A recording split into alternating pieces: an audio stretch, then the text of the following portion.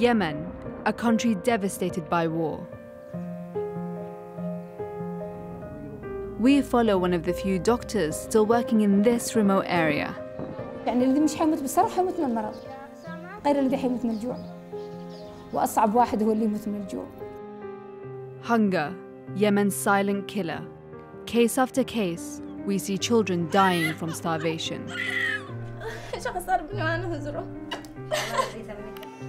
This war has been hidden from sight. What we witness is a humanitarian catastrophe. هذه حالة مجاعة ويا خوفي تكون هي البداية